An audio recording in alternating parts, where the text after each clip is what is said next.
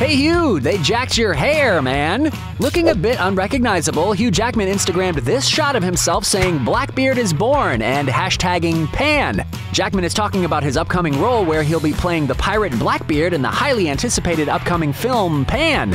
You guessed it, it's the new installment of the story of Peter Pan, and Jackman will likely be playing a swashbuckler set on ruining the plans of a boy who doesn't want to grow up. But who knew Blackbeard was a baldy? We guess he'll probably have a pirate's hat on for most of it anyways, but this is definitely a stark difference to what we've seen Jackman sport on his head in the past. We mean, he just finished playing the rather hairy Wolverine in X Men Days of Future Past. But seriously, forget the past. Jackman will be bald for the near future.